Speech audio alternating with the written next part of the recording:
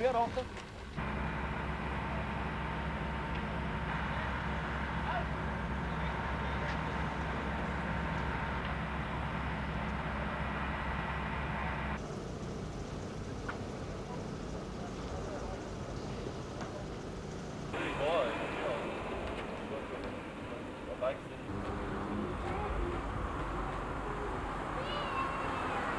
Altså, jeg har forsøgt at holde familielivet så normalt som muligt, men øh, jeg personligt har været meget angst og haft øh, mareridt efter jeg oplevede øh, den raket, der blev fyret af, og alle de sårede, jeg så derovre. Det har været meget, meget ubehageligt.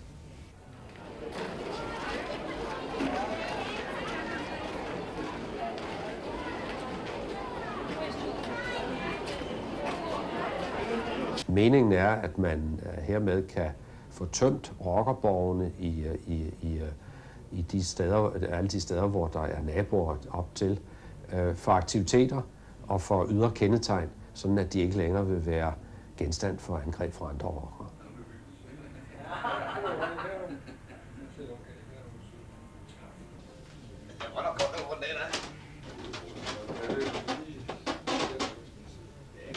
Øh, de har opført sig dumt, latterligt. Øh, man skulle ikke tro, det var voksne mennesker, man havde med at gøre.